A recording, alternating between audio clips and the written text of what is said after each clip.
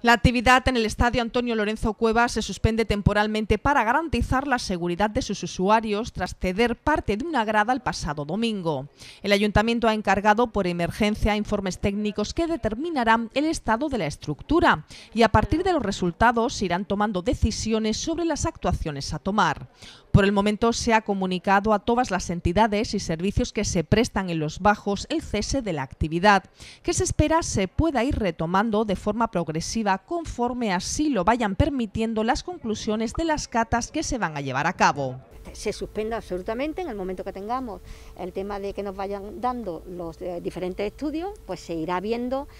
dónde se permite, dónde no se permite. El ayuntamiento va a intentar reubicar a los colectivos y servicios que requieren continuar su actividad. La empresa adjudicataria ya va a comenzar a trabajar. La primera cata se realizará en la zona norte, que a priori es la más segura, tras la inversión de 300.000 euros que se ejecutó el pasado año para su estabilización de manera eh, inicial han dicho que precisamente por las actuaciones que se hicieron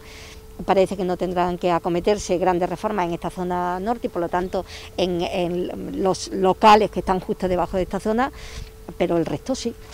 tendremos que hacerlo, ¿no? El aparcamiento, que ya se está habilitando otra zona para eh, poner los coches de la grúa, en fin, todo lo que tiene que ver con la utilización de, no solamente del campo, sino también de los anexos. La alcaldesa ha insistido en que el objetivo del ayuntamiento es garantizar la seguridad del estadio, una actuación que, según ha subrayado Ángeles Muñoz, es independiente y paralela al proyecto en el que sigue trabajando Best of You para dotar a la ciudad de unas nuevas y modernas instalaciones deportivas. Estamos hablando de una inversión de una gran envergadura, pero eh, eso no va a ser cuestión de un día para otro y garantizar la seguridad sí. Y por lo tanto yo creo que en paralelo tenemos que tener la garantía de que Marbella va a contar con unas instalaciones deportivas que permita que su equipo juegue con las máximas, eh, en fin, con todos los condicionantes dentro del ámbito de la seguridad y a partir de ahí pues soñar